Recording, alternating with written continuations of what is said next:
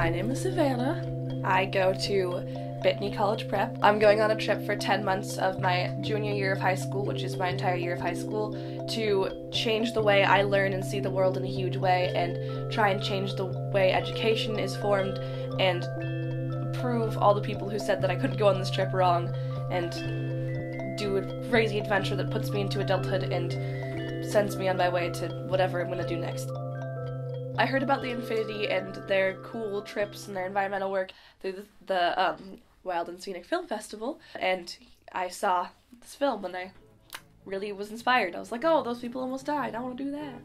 Sea Gypsies is this cool film about these crazy people who go up to the Antarctica in a boat that does not not supposed to be up in that cold weather. They met up with the Sea Shepherd and did some cool activist work. This trip all ties it back into that video because um, they're teaming up with the Floating Foundation to do uh, environmental work with the Tongan people. The Floating Foundation works with people to give medical supplies and train. They also work to try and make sure that area stays kind of preserved. I stay with them for three months and then we get on to the Infinity. But it all comes back to the Wild and Scenic Film Festival where I learned about this whole thing and it's pretty great. Ever since I was young, I'd be inspired by just like every little film. I was like, oh, I want to make a film. I want to do this. I want to do that.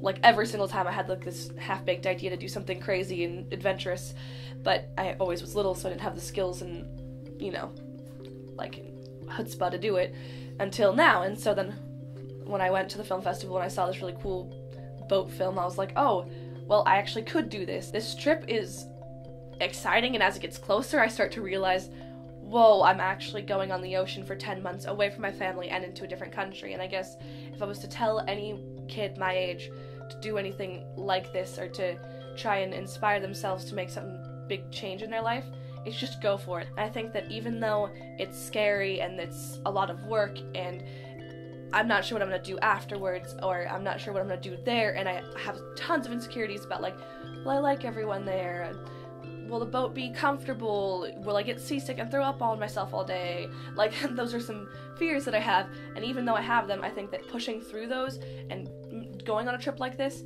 is gonna change my life, even if it's oh, I realize I don't like the ocean at all. I don't like being on a boat. That's still a huge change. And I think if anyone has some weird half baked idea to do something crazy, do it because you'll end up enjoying it and have a fun story at least later on in life. So, yeah.